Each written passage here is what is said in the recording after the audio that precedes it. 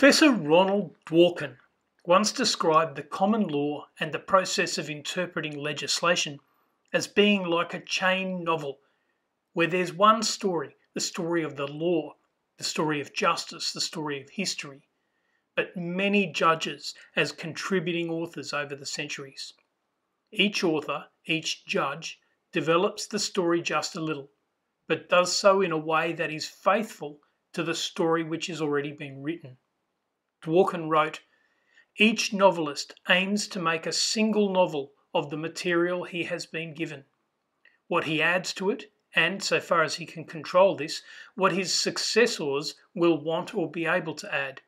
He must try to make this the best novel it can be, construed as the work of a single author, rather than, as is the fact, the product of many different hands. This idea that a judge has responsibilities to those who have made previous decisions, responsibilities to the litigants before the court right now, and responsibilities to those who will be affected in the future by a new precedent has really resonated with judges in common law countries. In 2017, Justice James Edelman, a former commercial and criminal lawyer, former judge of the Supreme Court of Western Australia, and former judge of the Federal Court of Australia, was appointed to the bench of the High Court of Australia. Following custom, the court had a ceremonial sitting to swear him in and welcome him to the bench. At that sitting, Justice Edelman said, Ronald Dworkin once described the process of adjudication by a metaphor of a chain novel with each judge writing a part of the story. Where the story contradicts itself, to use the words of Isaac Isaacs in a different context, the judge needs to evolve order out of chaos.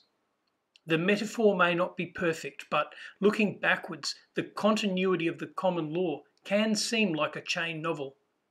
As judges decide cases between litigants, the story evolves, usually slowly, as each judge attempts to write that which is true to the story. And when the texture is truly open, both true and right in the sense of consistent with the underlying values of the law. I am deeply conscious of the increased responsibility that I now bear in that process. A perfect example of a jurisprudence theorist having a very real effect in our highest court.